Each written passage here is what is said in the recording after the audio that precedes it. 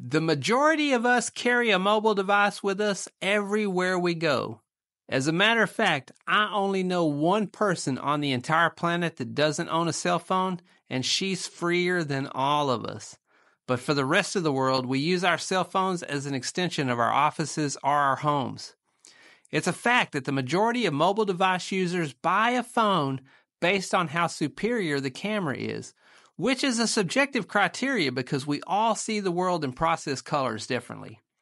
But photo and video quality aside, let's talk about cell phone audio, particularly the recording of audio with a mobile device.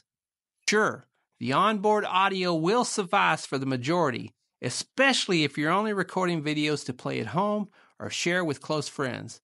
But what about content creators? Those of us who are a little more critical about our audio. That's where a simple tool like this Shure MV88 Plus comes in.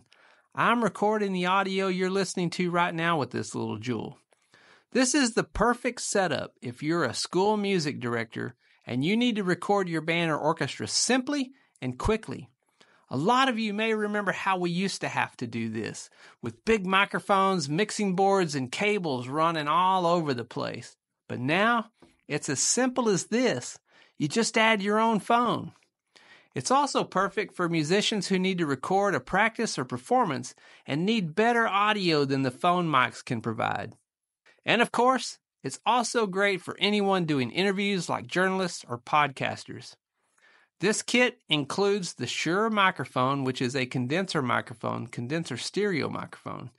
It has the Manfrotto PIXI mini tripod, a phone clamp, and a shoe mount and it includes Lightning and USB C cables so that it will work with both iPhone and Android devices.